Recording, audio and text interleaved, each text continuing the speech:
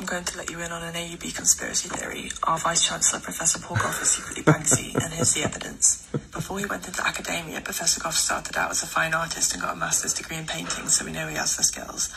Like Banksy, Professor Gough is a jet setter and exhibited and spoken on panels all over the UK, in Europe, Canada, Hong Kong, New Zealand, and more, so he definitely would have had the air miles to pop over to the likes of Utah, Paris, New York, Palestine, and New Orleans. All of those. He also just happens to be a Banksy expert. He's Maybe. written books about him, and newspapers always ask him for comment whenever a new Banksy piece pops up somewhere. Yeah, that's Alongside true. writing books about Banksy, Professor Gough's other favourite topic is war and peace, and even got his PhD in First World War art. And who else is obsessed with war and peace? Banksy. Oh. we all know that Banksy's work grew out of the Bristol underground scene, and Professor Gough was the Deputy Vice Chancellor of the University of the West of England in Bristol for six years, so he's got an emotional connection to the city and regularly goes back. Banksy mm-hmm. was a very busy artist during the noughties and into the early 2010s, but things began to quieten down between 2014 and the pandemic, with just Dismaland being opened in 2015 and a handful of street art pieces being found all over the world in the following years. Is it just a coincidence that Professor Gough got a job as a vice president of RMIT University in Melbourne and moved to Australia from 2014 to Absolutely a coincidence. I don't think so.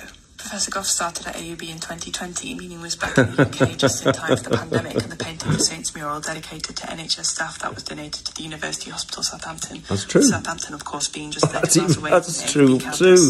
Finally, there's also the fact that Professor Gough took a day off from work in hmm. Oh. 2021 and a new Banksy painting appeared in Reading the very next day.